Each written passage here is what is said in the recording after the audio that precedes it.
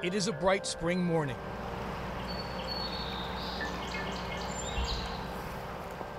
And I have driven about an hour northwest of Toronto to the tiny community of Kleinburg.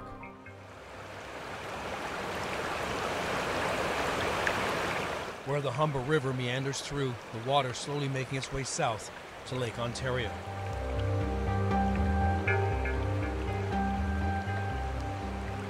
My name is Austin Delaney, and I'm a reporter with CTV Toronto. And for more than 30 years, I have covered crime and the court cases that follow. I find myself not far from the village's main street, Kleinburg, mostly famous for its Group of Seven art collection housed at the McMichael Gallery. It is also where the body of a young mother was found stuffed in a suitcase.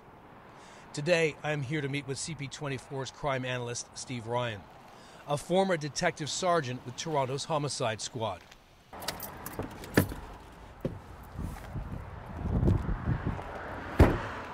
Hey, Steve.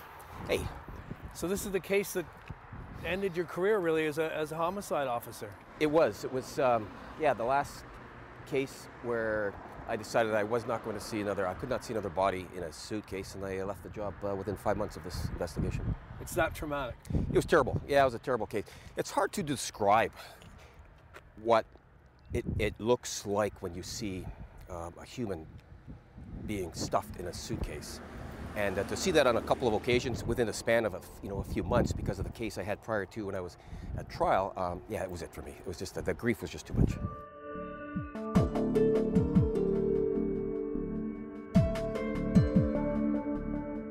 The court case the former homicide cop is referring to is the Biddersingh case. 17 year old Melonie, tortured, beaten, and starved, found in a burning suitcase, she weighed just 50 pounds. Her father and stepmother eventually convicted of her murder. Melonie Biddersingh lived a life of horror, and now her father will live his life in prison. But today we are here to talk about the Dr. Elana Fric-Shamji murder, whose body was also found stuffed in a suitcase and thrown into the river. I would imagine it's hard to even put a body into a suitcase. It's difficult, but you'd be surprised uh, just how a body can bend and twist to get into a suitcase. And the suitcase that uh, uh, this woman was put into was not that big of a suitcase, but he managed, uh, he being her husband who killed her, uh, managed to get her into that suitcase.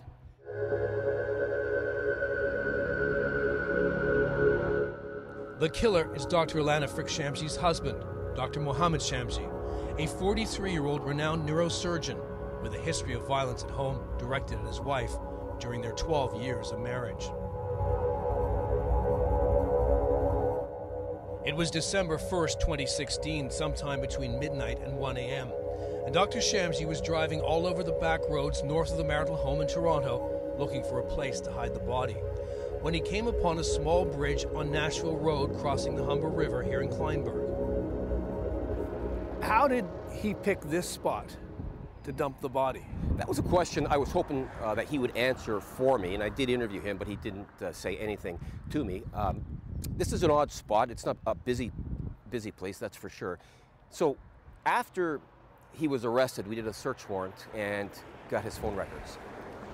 And he is all over the place up here. So I just get, I got the impression that he was driving everywhere trying to find a spot. He left his three kids at home, babies, by themselves. So he picture this: he's got his dead wife in his car, and he's looking to dump her body. So we had him all the way over at Highway 50, driving up and down 50, coming along Nashville Road here, and I guess he just picked this spot here because he's heading to the 27 highway, and then he's heading back home. So this was the uh, a spot that I think he picked just out of pure panic, and he just tossed her body over the bridge. What was he looking for for a place? Like, where, where does one dump a body? Great question. You, you, one tries to dump a body, and I, I just say this based on people I've interviewed in the past, where they cannot be found. But clearly, you can be found in this, in this, uh, in the Humber River here, where, where he threw her body. So, you know, you given the fact that this man was a neurosurgeon, brilliant academically, not so brilliant when it came to covering up a crime.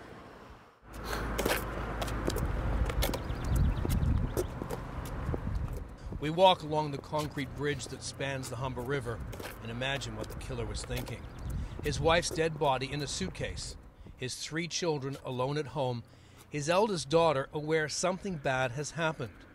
We lean on the railing and look down. If you think of where her body was found, which is just below us here, part, partly submerged in the water, it would make the most sense that he pulled his car over in a panic.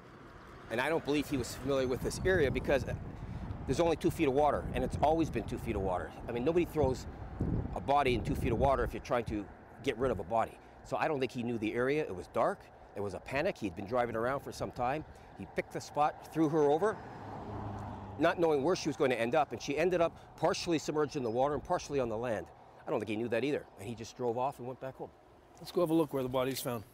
Okay.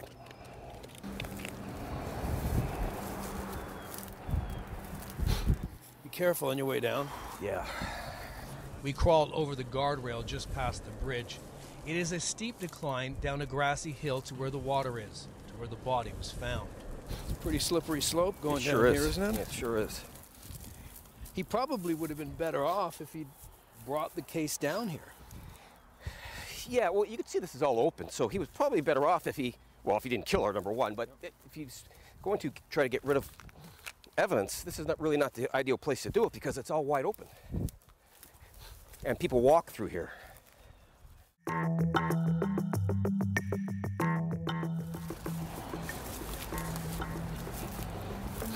We make it to lower ground and to the river's edge, to where the suitcase was discovered, and where the killer left investigators a calling card.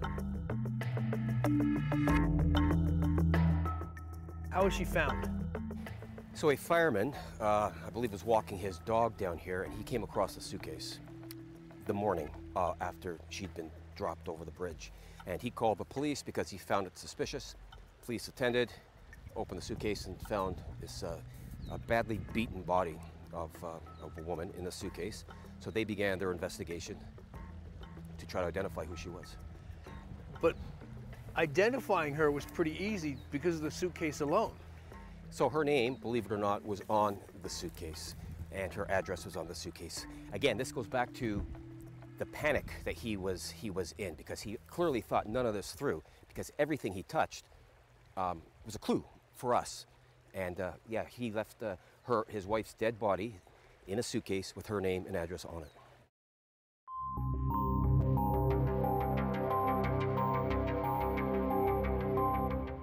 By now, Elana's mother was worried. She could not get hold of her daughter and phoned a missing persons report. The fact that her name was on the suitcase, did that really make it easy for everybody? Well, we knew what we were working from at that point in time. We still had to do an identification. So we did have her name, and we had mom, who gave us her, her daughter's name, which matched on the suitcase. Still had to show mom a picture of her. So we showed her a picture of, because uh, we needed to know one way or the other. Is it her daughter or isn't it? We showed her a picture of uh, her daughter uh, from the morgue, uh, just from her, her, basically from her, her chest up. And uh, she was almost unrecognizable, but her mom did recognize her. But I'll never forget when mom saw that picture, she dropped on her knees and said, uh, That's not her. It doesn't look like her. It doesn't look like her. And her husband said, It's her. It's her. And that's how we knew. It didn't take long for Detective Sergeant Steve Ryan to put two and two together, and he started covering his bases. I took the case over um, right away and had surveillance put on her husband. And I, you do that because anytime you have a homicide, you have to look at the intimate partner. You have to clear them. I'm not saying they're always responsible, but you have to look there first. And the more I looked at him with his post offence conduct, what he was doing, the more I came convinced that he was, in fact, the person responsible.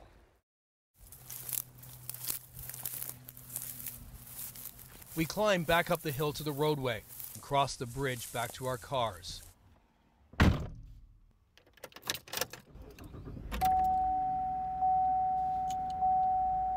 We leave Kleinburg and head to the city. We are going to the scene of the crime. A quiet residential neighborhood in North York, filled with bungalows and new builds where bungalows used to be. The Shamji home was one of those new builds, two stories, brick and stone. This is the house. Big, beautiful house like this. One of the things you talk to any homicide investigator, uh, past or present, they'll tell you that after doing a couple of homicides, you quickly learn that things aren't always as they appear. For instance, you look at this beautiful house, you've got a couple, attractive couple, both at the height of their careers, both doctors, successful doctors, three beautiful kids. They'd be the envy of a lot of people, you'd think, but she was living a life of hell with regards to um, what he was doing to her um, as far as abusing her physically over and over and over again. A house of horrors. House of horrors, absolutely. And it's a house of horrors that looks like this. A seemingly idyllic life in this upscale, family friendly neighborhood where Range Rovers appear to be the norm. But neither Mohammed Shamji nor his wife Elana were happy in their marriage, and both doctors were having affairs. Her husband, eager to point the finger at Elana's lover. She was starting to, to see a, a, man, and his name came up because when the uh, missing persons report was taken by the police and they interviewed Mohammed, her husband, he'd said that the last time he saw her was that Wednesday night when she left with her boyfriend. He provided us with a name, and we had to follow up on that. As, as uh, uncomfortable as that was, you always have to look at your alternate suspects. As a homicide detective, you need to look down the road. What is going to be a defense? Well, the defense is going to be, I didn't do it, this guy did it. So we had to contact him. And as you can imagine, he was quite uh, upset because his wife didn't know what was going on. And he provided us with an alibi, but then we had to talk to his wife. So we gave him a bit of time to speak with his wife and settle that with her. And then we had to talk with her because we needed an alibi from him. And he was upset when we contacted him, but I said to him, if we don't do this now, you're going to be the prime suspect come trial time. You'll be in the witness box forever. They're going to accuse you of all kinds of things. So we need to firm up your alibi right now, as uncomfortable as this is. And it was an affair, so he would he wanted to keep it quiet. He did. He wanted to keep it quiet. His wife knew nothing about it, so we gave him time to tell her, and then we had to talk to her afterwards because we needed to interview her. The murder took place in the master bedroom on the top floor, the window facing the backyard. The husband and wife were arguing.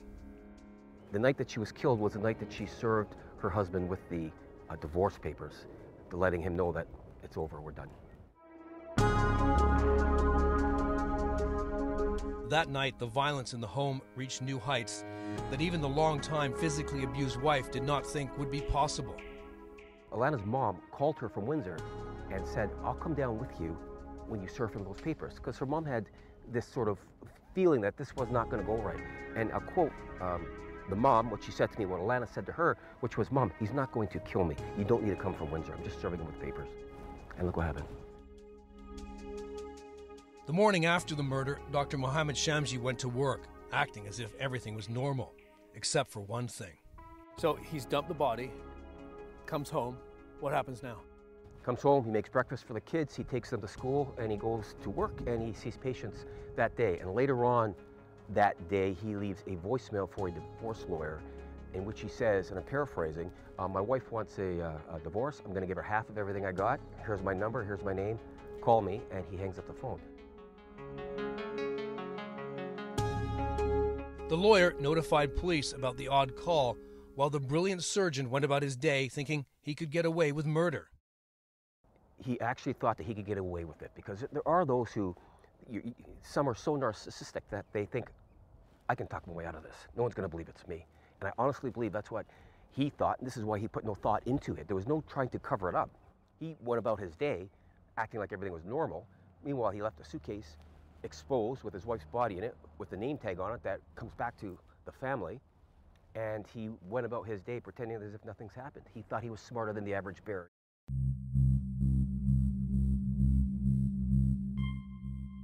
But the neurosurgeon was not going to get away with killing his wife, the mother of their three young children. You see, there was a witness in the house, their eldest. Shamji's 11 year old daughter, Yasmin, woke up. The one daughter in particular, her bedroom backed onto the closet of her mom and dad. So she heard the um, fighting that was going on. In fact, she came out of her room, stood into the entrance of her parents' room, and she saw her dad on the floor on his hands and knees. She couldn't see her mom, but she could see her dad. Her dad was between the bed and the window. So on his side, one side of the bed on the floor. I believe he was he was uh, assaulting her or choking her at that point, the, the position that the daughter described that he was in at the time. So she said, what's going on? Where's mom? and her father said, Go back to your room. It's okay. She went back to her room. Then she heard rustling in the closet. And as it turns out, he was getting a suitcase from that closet. That's exactly what his daughter heard.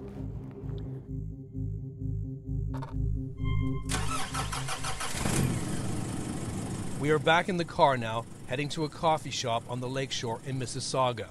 So, Steve, she's murdered on a Wednesday night. How long before you make an arrest, and where do you do it? So the arrest was made Friday, December the 2nd, so roughly two days after, uh, at 7.55 p.m., right here at this Timothy's in Mississauga. And he's inside. And he went inside to speak with a, a man, yes. Let's go in. So he's in here? So he's in here. He was being surveilled. We had him under surveillance for quite some time uh, on the Friday.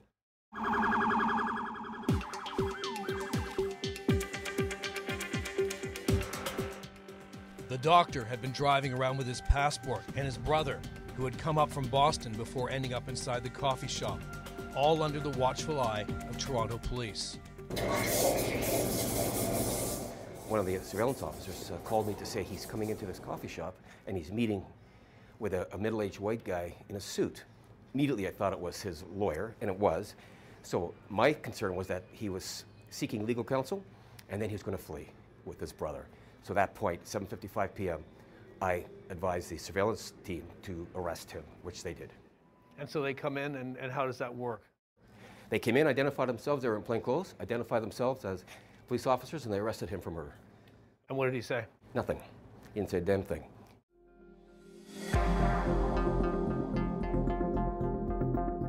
And he would never talk to investigators, staying silent throughout the 90 minute interview with the detective. So at some point, then, I decided to try to get a reaction from him. I took a picture of Elana uh, in the suitcase, badly beaten, and I slid it over to him. And I said to him, I accused him of doing it. I asked him why he did it, and he wouldn't. He wouldn't even look at the picture. He didn't acknowledge me, nor the picture, but he kind of just turned away like that. He wouldn't look at it. And the picture, you've described it to me. It's awful.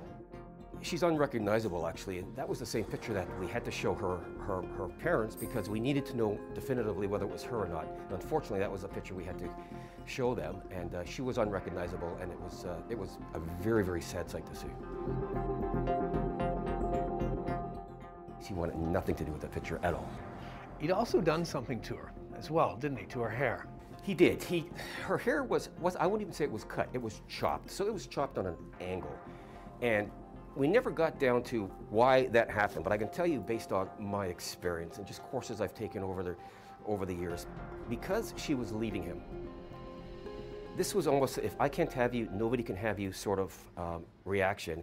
And the chop of the hair was to make her, in my view, look as ugly as he could possibly make her before she was found. And that's why he chopped. She had beautiful long, long hair, and it was chopped off in such a, uh, a barbaric way. It can only have been done to make her look bad. And and the reason for that is is just anger. Anger, just punishment, pure punishment. That's all it was. If you're, I'm going to make you look ugly. You're leaving me.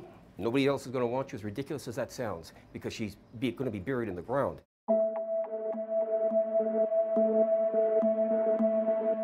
In the end, there would not be a murder trial. Dr. Mohammed Shamji would reach a plea deal on second degree murder and save his daughter from having to take the stand. She would have had to have testified. She was a star witness, so we had all kinds of circumstantial evidence, plus we had her eyewitness account of what she saw. She would be the person that uh, would be the Crown star witness had this gone to trial. This is why the uh, uh, plea was accepted with regards to 14 years before the uh, eligibility of parole. That was to keep the kids out of the witness box because testifying, being cross-examined by a, a, skilled defense counsel is difficult for a seasoned detective, let alone a child who's going to speak against his father as to what the father did to her mother. After sentencing, I sat down with Yasmin, who was by then 14, and asked her how she felt about her father, now convicted of murdering her mother.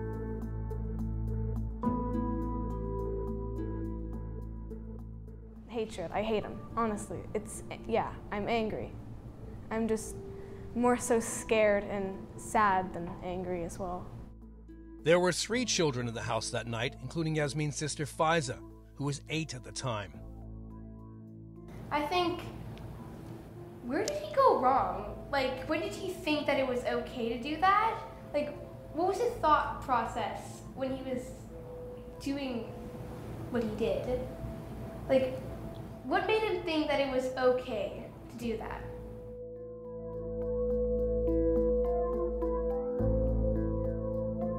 Shamji's children, two girls and a young boy, now live with Elana's mother and father in Windsor. Standing in the prisoner's box, his hands cuffed behind his back, Mohammed Shamji looked at his mother in law, Anna Fric, who pointed to her two granddaughters and said, Look at them, look at them. Steve Ryan calls the grandmother, Anna. So, Anna, um, how are you doing? You know, we're doing much better because we try to put everything behind us. And uh, not that we forgot what happened. We will never forget that. How, But for our own, but for our own sakes, we gotta go on and live our life.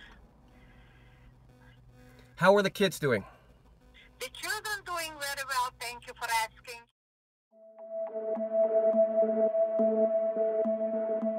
Steve made this phone call the day after Mother's Day.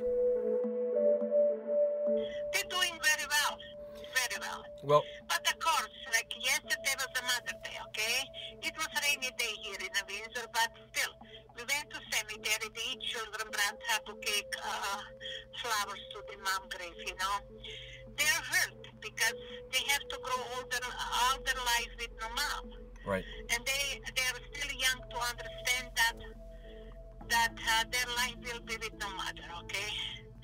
And they're hurting them when they go into school and everybody talking about their mom and this and that, and they don't have no mom in their life. That's their life. But otherwise, they're doing just fine. They're very happy children and they're doing very well. Well, a lot of that has to do with you and your husband. They're very lucky to have uh, to have you Well, guys. you know what? It's, they have lots of love with us. They got lots of respect. They got freedoms. They got sleepovers and all that stuff that the children supposed to have in their age. Nothing like before when their fathers never allowed them to have anything, not even friends in their house.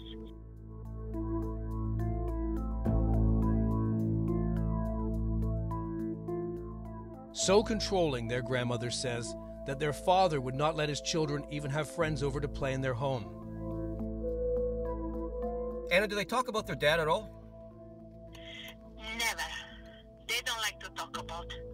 They do talk sometime, you know, oh, you remember when we went out and we have this and that, you know, and our father said that and that, but um, nothing in a positive way, you know. They, they despise it, to be really honest. What is frustrating for the former homicide investigator is that the abuse was well known in Dr. Elana Fric Shamji's circle of friends and colleagues. The 40 year old mother was a respected and well liked family physician. All of her friends, all of them doctors, highly educated, successful people, at the height of their careers as well, they knew or suspected that she was being uh, physically abused by her husband, and they said nothing. So, physical abuse, domestic abuse, has no limits. It doesn't matter if you're poor, uneducated, or you're lots of money, highly educated. People react the same way, and that is to say, it's none of my business. I don't want nothing to do with it. But if you speak out, you are not being a, a, a rat. You are actually um, perhaps saving somebody who may be stuck in a spot where they don't know what to do. And unfortunately, nobody spoke out and let, let it be known that uh, she was being abused as badly as she was.